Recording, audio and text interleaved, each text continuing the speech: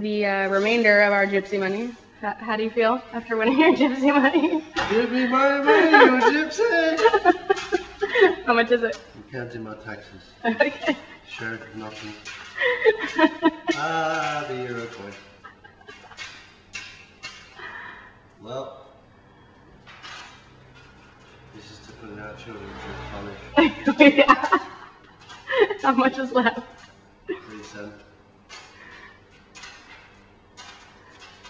Uh, I don't think anyone had change. I don't know. How much did we win today?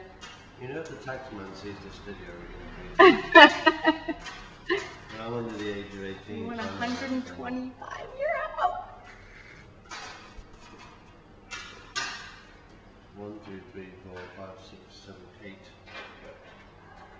That's 10, 20, 30, 40. 40 euro.